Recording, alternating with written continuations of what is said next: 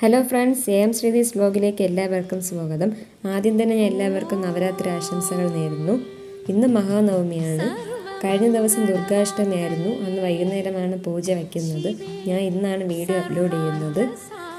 പൂജ വയ്ക്കാൻ വേണ്ടിയിട്ട് ഞാൻ പൂജാ സാധനങ്ങളെല്ലാം കടയിൽ നിന്ന് മേടിച്ചായിരുന്നു. കുറച്ച് ഫ്രൂട്ട്സ് പിന്നെ പൂജാ സാധനം ഹാരം എല്ലാം.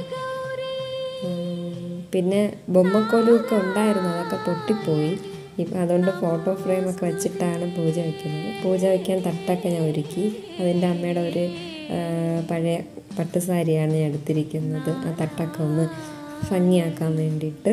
പിന്നെ സി എസ് എറ്റ് ലൈറ്റൊക്കെ വെച്ചിട്ടൊക്കെ ഡെക്കറേറ്റ് ചെയ്തു.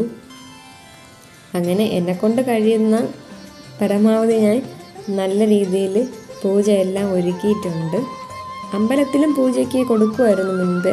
പഠിക്കുന്ന കാലത്ത് ബുക്സൊക്കെ അവിടെ പൂജയ്ക്ക് വയ്ക്കുമായിരുന്നു.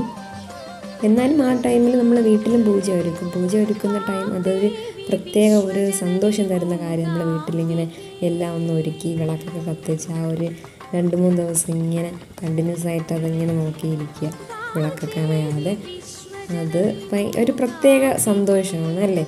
പൂജ വയ്ക്കുന്ന ആൾക്കാർക്ക് അറിയാം ഓക്കെ ഇത് ഇതൊക്കെയാണ് ഫൈനൽ ലുക്ക് എല്ലാവരും ഒന്ന് കണ്ടു നോക്കുക കേട്ടോ.